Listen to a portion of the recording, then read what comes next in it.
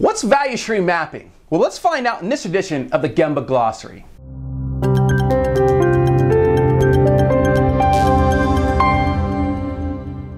Well, value stream mapping is a visual tool that helps us document all the activities required to receive and fulfill a customer's request.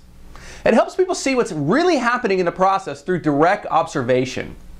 Now, value stream mapping isn't an activity that you do in an office or a conference room. Instead, we do it as close to the actual process as possible, allowing us to see the current state of the process and collect actual data.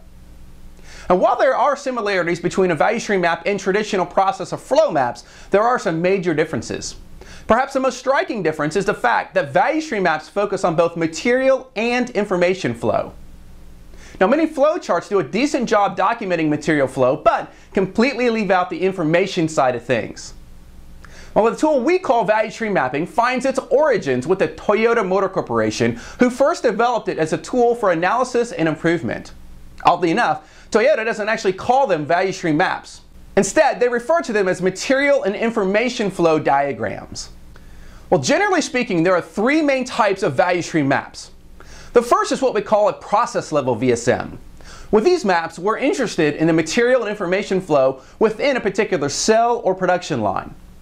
Next, we come to the factory level value stream map, also called a door-to-door -door VSM.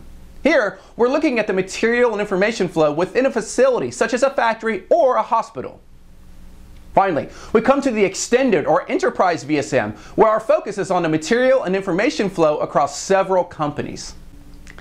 And that's value stream mapping. Well, please be sure to subscribe to this channel and tune into the next episode of the Gemba Glossary, where you'll learn the A to Z of continuous improvement.